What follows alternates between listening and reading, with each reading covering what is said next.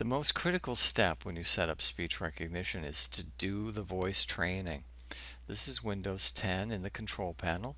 Click Ease of Access and then click Speech Recognition.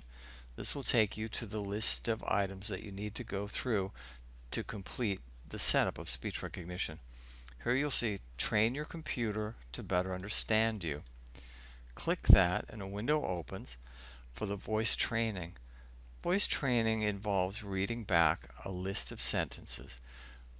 When you do that, the speech recognition system will know exactly the sound of your voice and be able to match it up specifically to the sentences. So just relax, speak loudly and clearly, and go through and read each of the sentences as they appear on the screen. Speech is the main way people bond and learn from each other. The way we speak affects the way we communicate with each other.